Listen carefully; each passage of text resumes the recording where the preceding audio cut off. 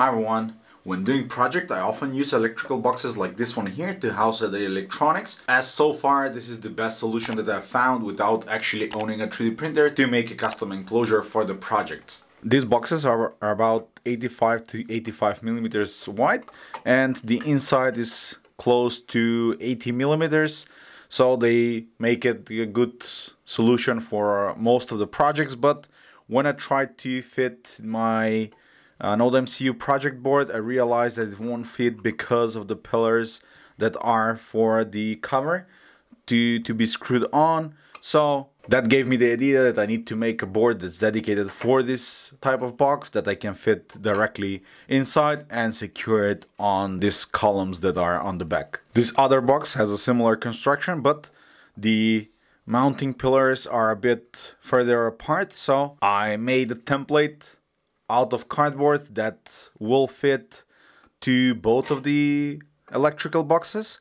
As you can see, there is a bit of room on the outside so the PCB can go in easily uh, and you can also see that it fits nicely in this board now based on the dimensions of this cardboard template let's jump to the computer and start designing the board. I've started the design process right in altium 365 that's the platform that you get with altium designer where if you create the projects from there you immediately get it set up with version control.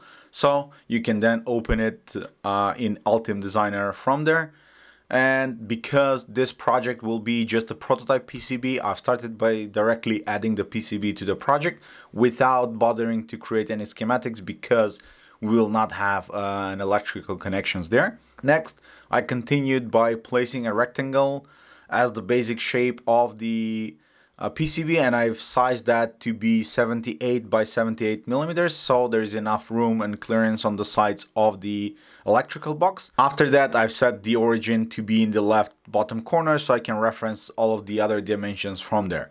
Now this is the first time that I'm actually building a PCB that has a cutout like this so it's not a rectangular or a circular shape so I struggled a bit to find the right way to do it.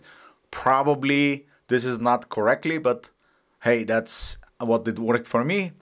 So I've started by drawing the shape based on the dimensions that I had uh, from the cutout. So each cutout will be 18 millimeters from the side and then 9 millimeters into the um, the shape, into the rectangle that I just created. So I've used the dimensions uh, tool to mark out where those 9 millimeters are based on the distance from the edge of the board and I also transferred that dimension to to the right side. Now my initial thought was that I would be able to just add a line between the dots and then I would be able to have a tool to make a cutout. Uh, that didn't work out correctly but uh, apparently knowing now I would uh, I was supposed to break down this rectangle to be uh, part of polygons instead of using the rectangle as a whole that would be much easier. But in the end I made a new shape uh, that I draw out based on that rectangle using just the lines. And now I've used that rectangle to just reduce one of the sides. Now when I had the final shape I duplicated that rectangle four times and I placed it in the corners. And I first wanted to select everything and create a cutout in the PCB for some reason that didn't work on all of them, just on the final one. And some of the squares, uh, some of the shapes here were probably not really lined up correctly. And I felt like if that's not really uh, the way to do it, so I deleted all of the cutouts and with the remaining lines, I just connected them with another straight line and that seemed to did the trick because now I could select the line and define the board outline based on that line. So that made the shape exactly as I wanted. Now with the shape defined, I want the spacing of the holes on the boards to be 2.54 millimeters or 100 mil. This is standard header that I use like on the Node MCUs and many other development boards. So I've started adding pads on the board. I first added a few of them and then I copied the, the rest. So when I had a full row, I copied the entire row and then I multiplied it to fill in the rest of the board, making a good and nice grid that is uh, all equally spaced. And since I'm using the 100 mil grid on the designer, I know that all of the holes will be spaced correctly, both vertically and horizontally. So I copied the rest of the holes until I filled the entire available space. Here I copied few pads that were unnecessary, but I could easily delete those. And as you can see now that we have the mesh, but it's not really well aligned to the board. So here I'm using the PCB filter to select all of the pads and then move them slightly uh, so I can center them. When you're moving the entire board like this, because the grid will not be like precise, I was struggling to get them aligned on the center of the board. But then I also realized that I could also reduce the grid size. So I reduced the grid size to 50 mil. And with that, I was able to perfectly align the, the holes to be on the center of the board. And to help me guide some of the mounting holes that I wanted to add on the board. I've added two guidelines, one horizontal and one vertical. These guidelines will help me to have snapping on them so I know that the mounting holes are perfectly on the center of the board and they will align with the pillars that are in the electrical box. Now additional to the guidelines you can also have snap points which are just a point in space and Using the editor, I've added one on the middle of that pillar, which is about 15 millimeters from the edge.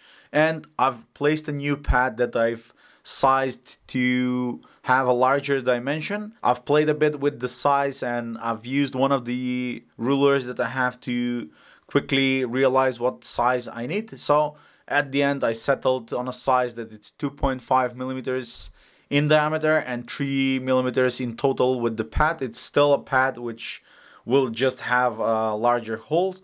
And when I was happy with that size, I just duplicated that four times. So I've added one more on the vertical line by adding a snap point that will be my guide where that needs to be placed. I've deleted the pads from there and just pasted the same hole as I had before. Then for the horizontal line, I added two more guides and also two more pasted copies of that hole which is enlarged. Now, this is the finalized PCB and I was quite happy with how it turned out. Just for the sake of having it look nicer, I've added my logo on the on the center and at the beginning I mistaken the layer so I've added it to the mechanical layer where I instead I wanted to add it to the top overlay and that would be printed on the board with a bit of just aligning everything now the board was uh, completely ready and it was ready so I could make a production version or production output. I tried adding text but because of all the holes that didn't look uh, very well so I decided that I would leave it out and I will just go with the logo to get the PCB manufacturing outputs, you need to go and uh, export uh, Gerber files that can be used to, to, be sent to the PCB provider. I'll be using PCBWay. I also extracted the drill files. So with everything ready, I've created a zip file with all of the files. And we can use that zip file when we are basically ordering the board. I followed all of the defaults, so basically I'm not changing anything here except for allowing them to offer a different kind of finish if they feel like necessary. So here you can see me uploading the Gerber file and with that the order was now waiting approval. After a few minutes that approval was already done and the board went into production. So now with the PCBs ordered and uh, in production, we need to wait for a few days for them to arrive. And up until then, you can subscribe down below. Let me know down in the comment if you have any questions regarding this design of the PCB that I did. And before you go, you can also check out this video where I've built this programmer for the ATtiny chips.